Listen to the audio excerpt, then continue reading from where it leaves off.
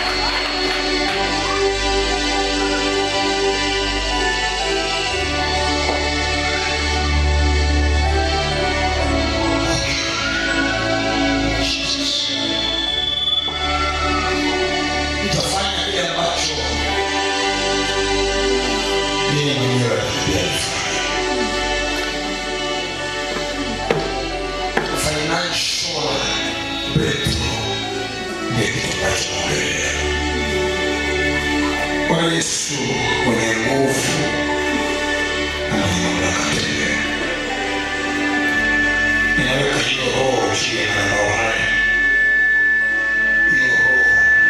ya upenyo wa kifedha, hiyo roho ya upenyo wa kifedha ninaiachilia jina la roho.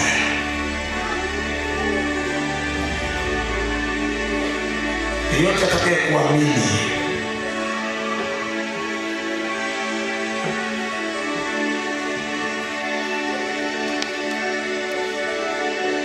pesa nyingi ambazo hajawahi kushika ziingie kwa mikono yao. Kwa madhabahu haya inaachilia hiyo roho. Yeyote atakaye kuamini na kuchukua bahasha hiyo ujenzi juu ya haya hiyo roho iende pamoja na yeye, waende walipe madeni yao makubwa yaliyozuiliwa, waende wapate tenders kubwa kubwa, waende wafanye biashara kubwa kubwa, connections kubwa za kifedha, kikazi na kibiashara zimesaidia maisha yao. transfer anointing kwa bahasha hizi na kwa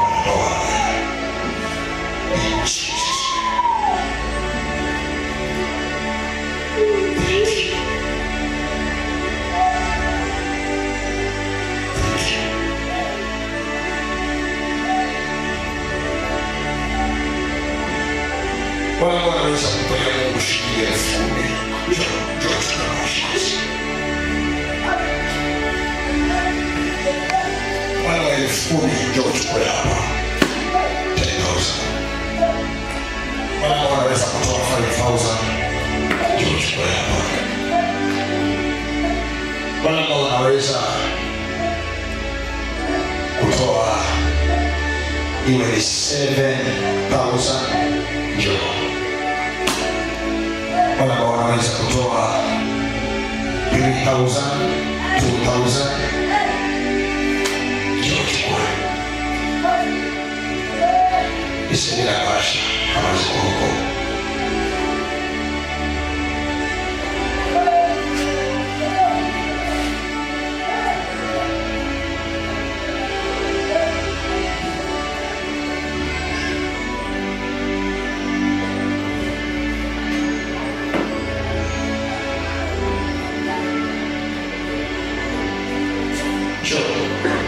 When you are 2,000, it's about 2,000.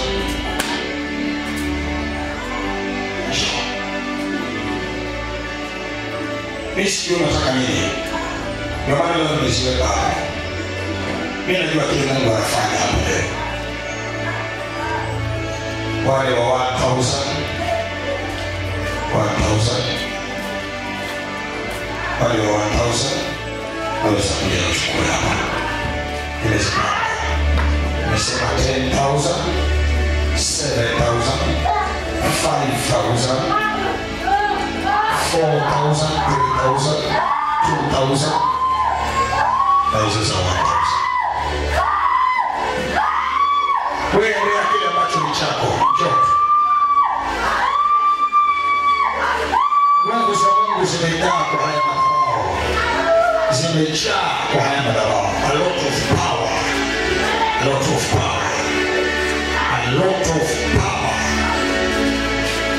chukua tu chukua tu zinafanana zote chukua. Ni wewe ndio unajua kile unachukua.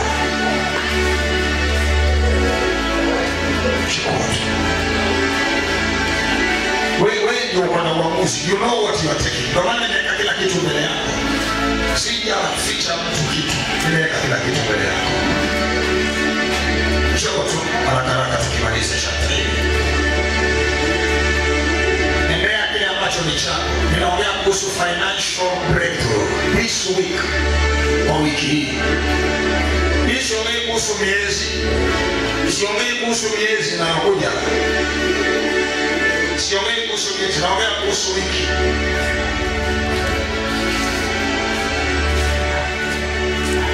Naongea kuhusu wiki. Njoo kuja chukua kile ambacho ni chako. Wewe unajua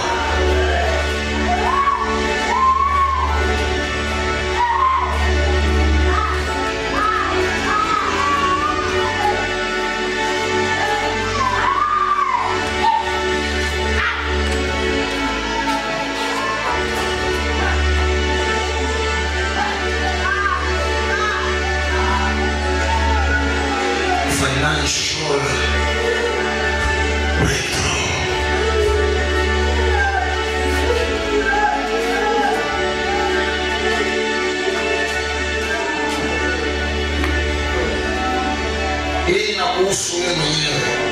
Mimi sikuchungi, sikuchungi. It is upon you.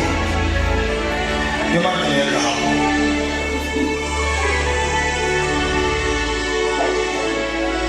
financial breakthrough. A very big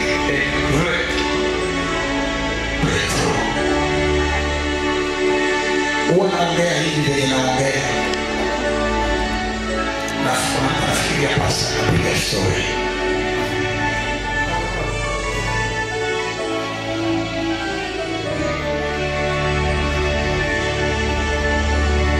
Kuna mtu wako hapa katikati yetu hana kazi, hana kazi, hana na anatamani kumtolea Mungu na anasema shida, sina kazi. Njoo uchukue, Mungu atakupa pesa. This is a prophecy.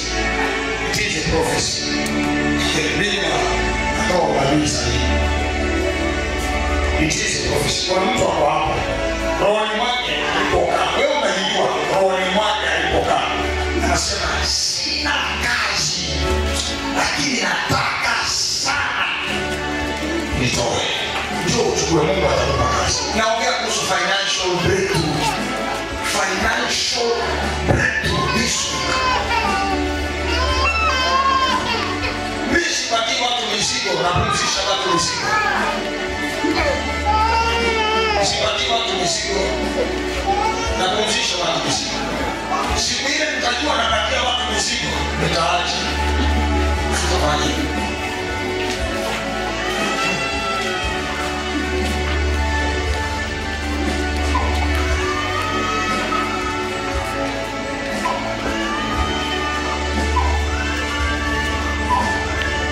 Mimi sijui juzi kuna mtu mwingine akanipigia simu akaniambia pastor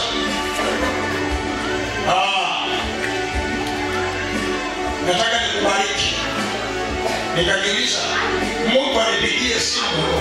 Akiniambia anataka nibariki mimi yeye amenipigia simu. Na lengo lake la kunipigia simu anataka nibariki si kwamba akona mahitaji. Hajanipigia kunipatia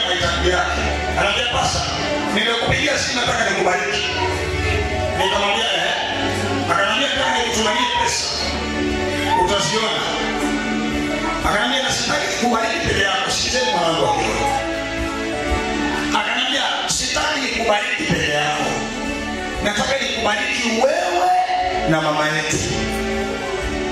Akanambia zile nazo kubariki nazo wewe ni zako. Lakini pia nataka nimbariki na mama pia mke wako. Kuna kitu nimeona kwake sio cha kawaida.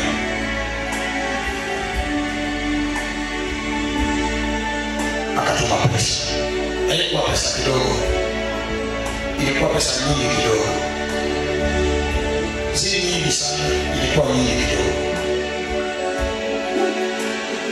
akaniambia nyingine mpatie mama hisani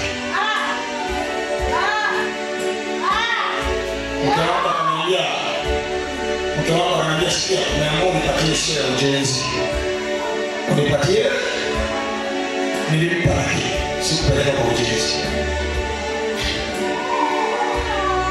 kwanisasikia huyu ushawaijiuliza yani si pesa kidogo. Mtu mtu akikutumia akikutumia huja alitisha na anakutafuta yeye yeye ndo anakutafuta.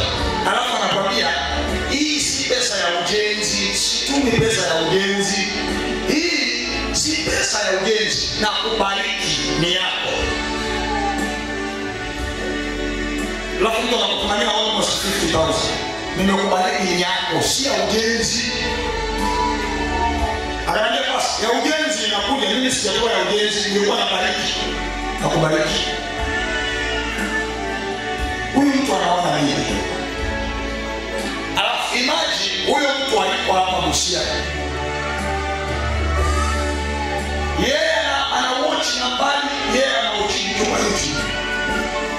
akiwa mbali hayuko hapa Busia.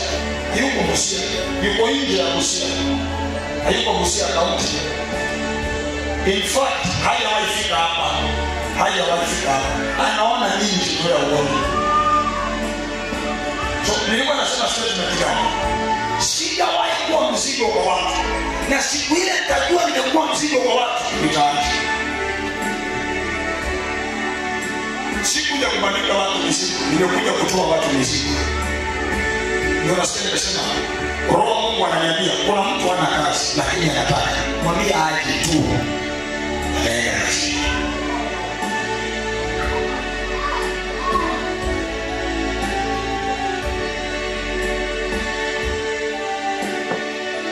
namalizia hii ya mwisho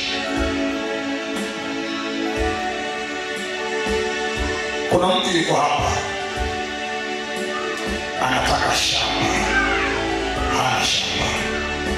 Anataka shamba. Kuna mtu yuko hapa. Ako na kesi ya shamba. Na haijaisha kuna mwenye anataka shamba lake. Na kuna mwenye ako na kesi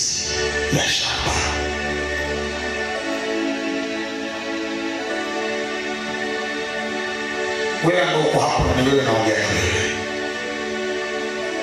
Na unaweza kumtolea mungu 10000 hakuna kama wewe